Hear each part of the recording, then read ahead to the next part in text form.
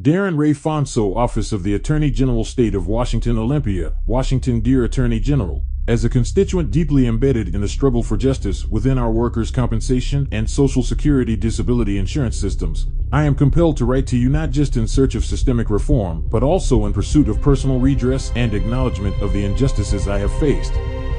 This letter encapsulates a demand for both broad systemic changes and specific attention to the personal harm done to me and, by extension, my family due to the negligence and perceived betrayal by our lawmakers, notably State Representative Mary Foss highlight of betrayal and the need for accountability. My journey as a workers' compensation whistleblower has been met with resistance, silence, and outright betrayal, notably by figures like State Representative Mary Foss, whom I had hoped would stand as an ally in the fight for justice.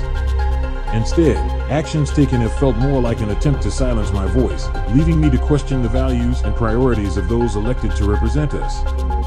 This silence not only undermines the principles of justice and accountability, but also sets a disheartening example for my children, who witness their father's legitimate grievances being disregarded, his calls for justice unanswered, and his character unfairly maligned. Demand for systemic reform. I urge your office to champion the following reforms, reflective of an urgent need to overhaul a system that currently fails too many.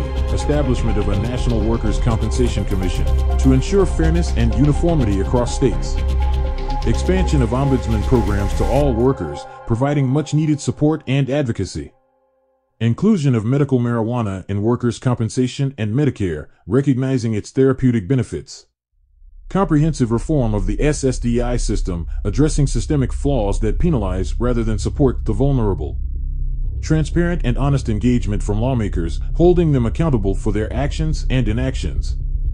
Demand for personal redress. In light of these systemic failures and the specific betrayals I have experienced, I am demanding $5 million in damages.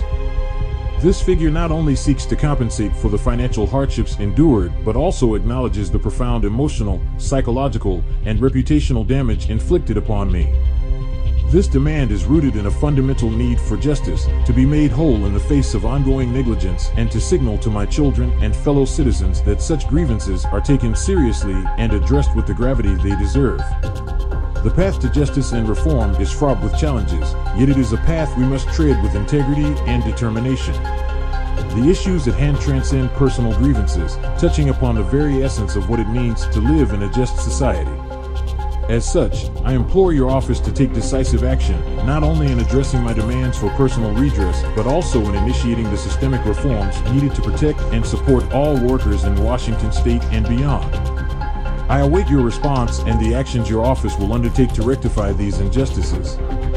Let this letter serve not just as a plea for justice, but as a call to action for all those who believe in the principles of accountability, transparency, and the unyielding pursuit of what is right. Sincerely, Darren Raye Fonzseau.